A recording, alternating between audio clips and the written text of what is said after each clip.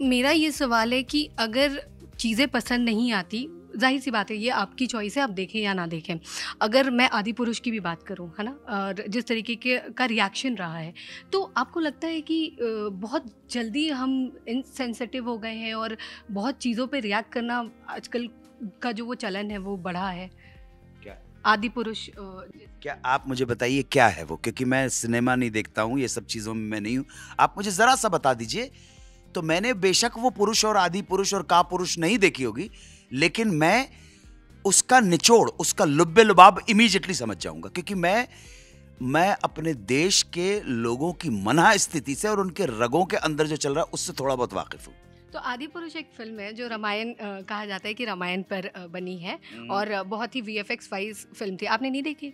मैं फ़िल्में देखता ही नहीं। तो ये कॉन्ट्राडिक्ट्री है मतलब? फ़िल्में नहीं देखते अपनी क्या? ना, ना अपनी ना पढ़ाई कोई नहीं ना मैं फ़िल्म देखता हूँ ना टीवी देखता हूँ ना ओटीटी देखता हूँ ना न्यूज़ चैनल देखता हूँ ना समाचार पत्र पढ़ता हूँ। मैं सुखी हूँ। तो फिर सर जो फ़िल्मों को लेकर रिएक्शंस रहते हैं मतलब कहा जा रहा है इंटरेस्टेड भी नहीं रिएक्शन मैंने आप तो मुझसे पूछिए क्या? आप मुझे नटशेल में ये बता दो कि जिसकी बात आप कर रहे हैं वो उस वो क्या है? बस उसमें वो तो बता दो। वो फ़िल्म है सर। अच्छा फ़िल्म ओके ठीक है बात खत्म। ओके तो सर ठीक है। तो आप कह रहे हैं कि सेंसर बोर्ड जो है वो मतलब यहाँ पे भी आने तो बात करें हाँ। तो मतलब पर रिएक्शन तो मैं रिएक्शंस की बात कर रही हूँ हाँ। डायलॉग के बारे में बताइए। नहीं नहीं डायलॉग नहीं वो क्या किस चीज़ के ऊपर है और क्या कंट्रोवर्सी हुई? बता डायलॉग्स डायलॉग्स को लेकर है कह रहे हैं कि मतलब जो है कि रामायण का प्रोजेक्शन है वो बहुत ही गलत तरीके से दिखाया गया। बहुत ही मतलब जो हनुमान जी है वो कह रहे हैं जली उस तरीके के ऑफेंसिव डायलॉग्स हैं। सो इस जिसने भी ये फ़िल्म बनाई है जिसने भी ये फ़िल्म बनाई है और जिसने भी ये फ़िल्म लिखी है उसने क्या कंट्रोवर्सी क्रिएट करने के लिए रामायण जैसे हिंदुओं के हिंदुओं के पवित्र जो महाकाव्य है उसका जानबूझ के अपमान किया? अब मैं पूछ रहा हूँ आपसे। बता देते आप मैं मैं मैं तो सर आपसे सवाल पूछ सकती हूँ और आपसे जवाब की उम्मीद कर सकती हूँ। नहीं आप तो मेरे सवाल का जवाब दीजिए।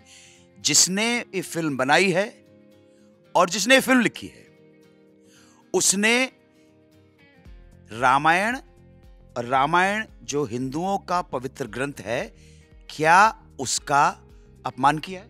सर सब्जेक्टिव है सर फ़िल्मों का सब्जेक्टिव होने का क्या मतलब है? वो डी में सब्जेक्टिव है? थॉट सब्जेक्टिव है क्या मतलब? आप राम की निंदा कर रहे हैं आप हनुमान की निंदा कर रहे हैं आप मोहम्मद की निंदा कर रहे हैं वो सब्जेक्टिव क्या होता है? आपको धर्म की यही बड़ा आप अपने आप को बहुत सड़े किस्म के, एक घटिया किस्म के व्यापारी हैं आप। कौन है बनाने वाला? मारा नहीं जनता ने? आप क्यों धर्म के, और सुनिए आप, एक सीधी सिंपल बात है। हिंदू धर्म ने रिएक्ट किया। ये लोग डिजर्व करते हैं। इनको मारा के नहीं मारा? मारा ना? जूते पड़े? जूते पड़े? आप मेरे धर्म का, मैं नास्तिक आदमी हूँ। आप स्वतंत्रता की अभिव्यक्ति पर, इर्शाद के धर्म का, या हिंदू के धर्म का, या ईसाई के धर्म का, स्वतंत्रता की अभिव्यक्ति के दम पर इनके भगवानों का मज़ाक उड़ाने के लिए फ़िल्म क्यों बनाते हो आप? बहुत सारे और सब्जेक्ट है। नंगी फ़िल्म में बनाना प्रॉब्लम कौन रोक रहा है? लेकिन तूने क्या किया? तूने क्या किया? कुत्सित, नराधम, राक्षस? मुझे मालूम नहीं, मैंने देखा नहीं। क्या किया होगा? मैं इनकी फितरत से बहुत अच्छी, इनके पोतड़ों से अच्छी तरह से वाकिफ हूँ। इन्होंने क्या किया होगा?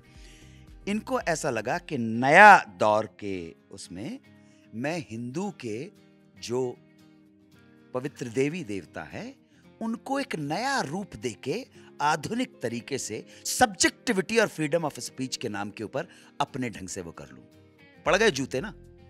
पड़ गए ना जूते? ऐसा मत करना कभी। नितेश तिवारी भी बना रहे कौन है नितेश तिवारी? क्या है उसकी औकात? हिंदू धर्म का अपमान करना? बना रहे हैं अभी आए नहीं। बना रहे जूते पड़ेंगे उसको।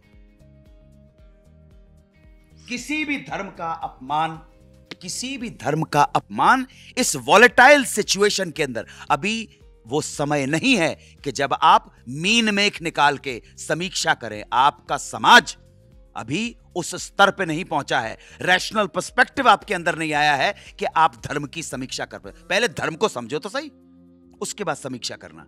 पढ़ा कुछ है नहीं, जानते कुछ है नहीं।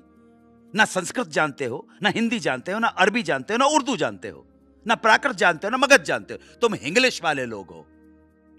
और तुमने उठा के एक संविधान ने तुमको दे दिया है तो तुमने अपनी तरफ़ से कुछ भी करने की कोशिश कर ली? ना अब हिंदू हिंदू क्योंकि इतनी शताब्दियों से वो द, वो दमन के चक्र में फंसा रहा है अब वो बर्दाश्त नहीं कर रहा है।